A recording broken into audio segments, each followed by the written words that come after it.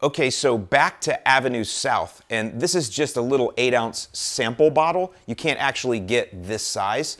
You can only buy a gallon of Avenue South. Now, Avenue South has the very same active ingredients as the image for Southern Lawns. It's just that the active ingredients are much more highly concentrated here than they are here in that form. The thing is, when you actually look at the label here, the use rate is much lower. The use rate, high use rate on this is 1.8 ounces per gallon per thousand, whereas the use rate here is 8.6 ounces per gallon per thousand. Now again, much more highly concentrated here in this form, much less concentrated in this form, lower application rate, much higher application rate. What do we end up with when we actually do the math at our end spray mix? In other words, when everything is mixed in water and we're ready to go spray, what did we end up with? The answer is they come out exactly the same.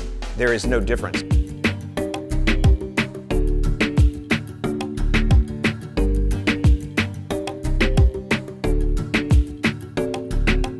So from there, it really just comes down to price and availability. This is like 14 bucks, I think, and you can get this at any big box store, at least here in Florida you can.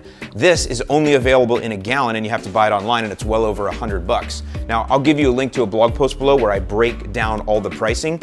Avenue South in the gallon does come out to be cheaper. However, a little bit harder to get, and do you actually need an entire gallon that might last you more than a decade, or do you just need enough to spray your little 5,000 square foot lawn in the suburbs like I do? So there you go. I hope this video has been helpful to you. I hope you've enjoyed it and learned a little something.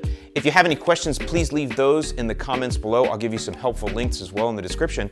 As always, I'm Allyn Hane, the Lawn Care Nut. Thank you so much for watching, and I'll see you in the lawn.